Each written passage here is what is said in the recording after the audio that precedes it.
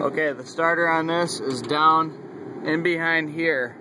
There's two bolts, one here and one on this side, and it's a pain in the butt to do. This is a standard transmission. It's a standard transmission on this car, 2001 Nissan Altima. But that's where it is, uh, and this is, you gotta take off. You need two people to do it, We use two people.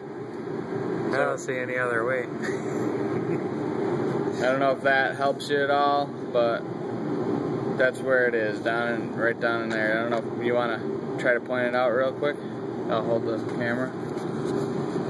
There's one bolt here, then one over here. And then you got to get underneath the, to uh, to do the starter on the other side. And that's it.